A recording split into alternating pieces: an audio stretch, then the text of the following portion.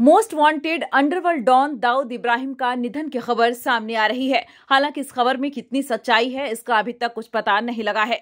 ऐसे में आज हम आपको बताते हैं कि मुंबई का रहने वाला दाऊद आखिर कैसे बन गया मोस्ट वांटेड डॉन। वर्ष 1955 में महाराष्ट्र के रत्नागिरी में दाऊद इब्राहिम पैदा हुआ था।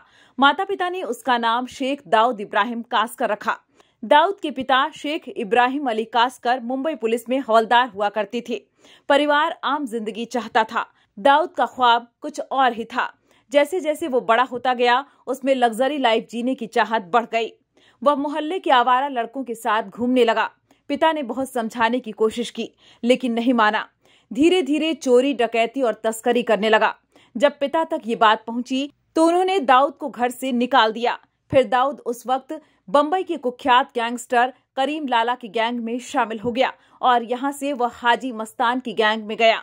1980 के दशक में मुंबई में करीम लाला और हाजी मस्तान की गैंग की तूती बोला करती थी, लेकिन दाऊद इनसे भी चार कदम आगे निकला। काफ़ी कम समय में दाऊद ने इन दोनों को पीछे छोड़ दिया और बम्बई का सबसे बड़ा डॉन बन गया। इसके बाद बम्बई के ही पठान गैंग ने दाऊद के भाई शब्बीर को मार दिया। भाई की मौत से बौखलाए दाऊद ने पठान गैंग के हर मेंबर को मारने का फरमान जारी कर दिया। रोज होने वाले कत्लेआम से पूरा बम्बई सहम गया था। इसी दौरान दाऊद दुबई भाग गया। दावा किया जाता है कि वहाँ पर दाऊद एक आलिशान बंगले में रहा करता था। इसका नाम व्हाइट हाउस था। यहाँ पर दाऊद क्राइम की दुनिया के बड़े बड़े नामों को बुलाता। दाऊद की गैंग बम्बई में लगातार एक्टिव थी। इसे छोटा राजन चलाता था। दाऊद बम्बई में टारगेट किलिंग कराता था। मीडिया ने दाऊद की गैंग को डी कंपनी नाम दे दिया। डी कंपनी सुपारी किलिंग पैसे की उगाही, हथियार तस्करी और ड्रग तस्करी के अलावा आतंकी गतिविधियों में भी लिप्त थी। इतना ही नहीं, दाऊद के पास इतना पैसा हो गया कि वह फ़िल्म इंडस्ट्री में भी इन्वेस्ट करने लगा। वह दूसरे के नाम से फ़िल्मों में पैसा लगाने लगा।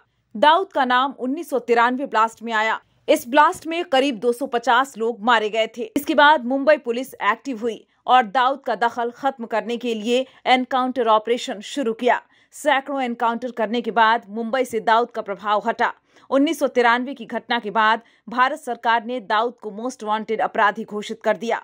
2003 में भारत ने अमेरिका की मदद से दाऊद को ग्लोबल टेररिस्ट घोषित करा दिया। फोर्ब्स मैगजीन 2011 में दुनिया के मोस्ट वांटेड टॉप टेन अपराधियों की लिस्ट जारी हुई। इसमें दाऊद पहले नंबर पर था। मुंबई में हुए 26 ग्यारह के हमलों में भी दाऊद का हाथ बताया जाता है। हालाँकि बीते कई सालों से दाऊद के पाकिस्तान में होने की खबर है, लेकिन कई सालों से उसकी एक भी तस्वीर सामने नहीं आई है।